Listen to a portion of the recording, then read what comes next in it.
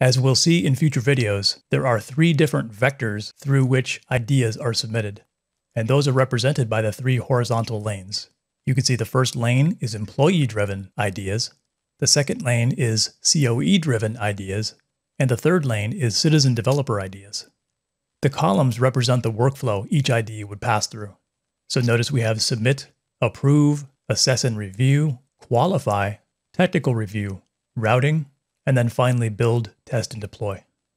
There are some nuances I'd like to point out here. We can see that the employee-driven lane is the only lane that has an idea approver. And you can see in the red text that that idea approver's job is to either approve the idea or identify it as a duplicate or reject it for a variety of reasons. In the citizen developer lane at the bottom, that's the only lane that has a technical reviewer.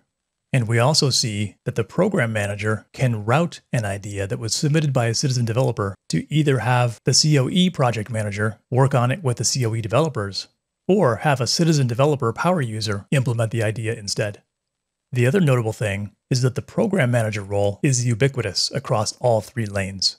So we can see that that's a very important role, and the role should be filled by somebody close to the top of the COE. As we'll see shortly in the Automation Hub demos, there are a variety of roles and collaborators that interact on any given idea. Automation Hub is pretty sophisticated, so the list of roles and collaborators can be a little bit intimidating.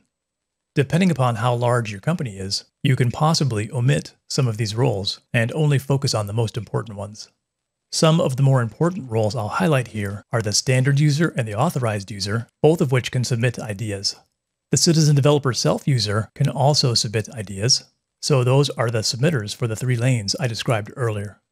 The idea approver approves ideas that were submitted by the standard user and the program manager, as I mentioned, is that important and ubiquitous role that serves as a leader within the platform. Collaborators are added to ideas after they've been submitted, and these include things like the business analyst, the solution architect, the RPA developer, and the process owner. Those people are usually selected and assigned by the project manager. Here are some definitions for the roles we see in the standard workflow. I'm not going to read all of these because they are available for you to look at inside the Automation Hub tool itself. And what I mean by that is after we do the setup and tour, you'll find that on the admin console, you can go to Manage Access and click on this Roles tab, and you can see that there's a Roles tab and a Collaborator Roles tab. And when you scroll down and look at these, any one you click on has the definition shown right up here at the top right. So you don't necessarily have to memorize all these role descriptions because like I said, they exist right here inside the tool.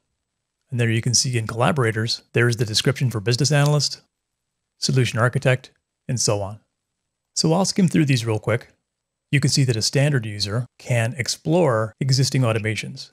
They can submit new employee-driven ideas. They can manage their own components. They can download components. And the key thing to know about the standard user is that all users have this permission assigned by default when their account is created. Other more advanced permissions are added on top. So now the authorized user is typically somebody who has more knowledge about RPA, and they can submit COE-driven ideas that include the detailed assessment already completed. Next, we see the idea approver, and this role is to identify duplicate ideas and approve and reject ideas that were submitted by standard users. Notice the idea approver doesn't approve ideas that were submitted by the COE authorized user.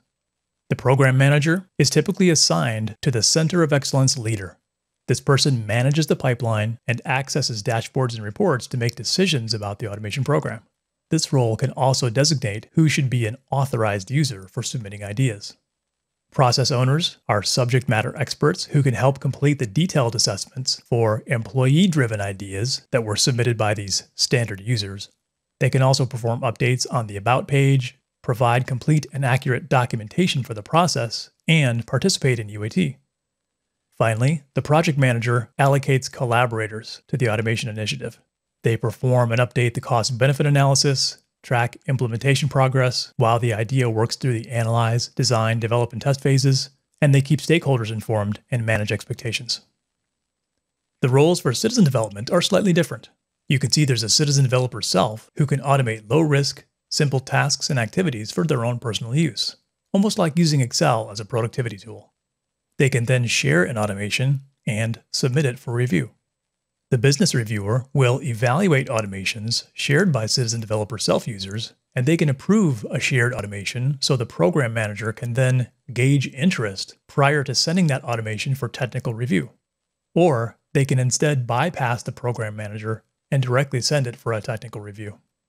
Again, like the standard roles, the program manager here is typically assigned to the Center of Excellence leader. For citizen developed automations, however, the program manager reviews the interest level from other users about a shared automation and uses that to determine whether the automation should be promoted into a technical review. Then that program manager routes the automation either to a citizen developer power user or to the COE to implement any rework that would improve it beyond the form that the citizen developer originally created. The technical reviewer can identify code quality issues and either approve it to go straight into production for a larger group or determine that rework might be needed, in which case it returns to a program manager to determine whether a power user or the COE should implement it. Finally, that citizen developer power user can not only automate tasks and process themselves, but they can also do more advanced rework when ideas created by citizen developer self users are going to be deployed for more broad use by the whole team. Now, here are some definitions for collaborators. And again, you don't have to memorize this stuff because it does exist on the Automation Hub itself. The employee idea submitter is auto assigned to anyone who submits an idea, and that grants the person basic contributor access.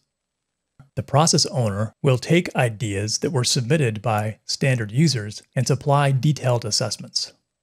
They can also perform updates on about pages, provide process related documentation, and participate in UAT. Like we discussed in the previous slide, project managers will allocate collaborators, they'll perform and update the cost benefit analysis, they'll keep track of implementation progress, keep stakeholders informed, and manage expectations. And now we see implementation roles business analyst, solution architect, and RPA developer. These are the folks that gather requirements, design the solution, and actually build it using UiPath Studio.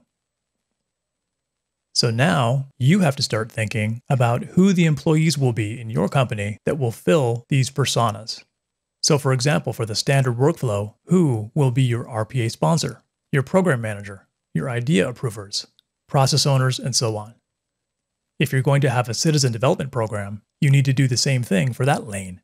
Decide who your citizen developers are, who the power users might be, who the program managers are, and it's possible that the program managers for citizen development could be the same as the program managers for the standard lane. You also might need business reviewers and technical reviewers for the citizen development workflow. So I know that was a lot, and it might be hard to conceptualize since you haven't really seen the tool yet, but hopefully it gave you some big picture ideas about how sophisticated Automation Hub actually is and how much value it will add to your organization. So with that, Let's jump into the setup section to create our Automation Hub account and start using it.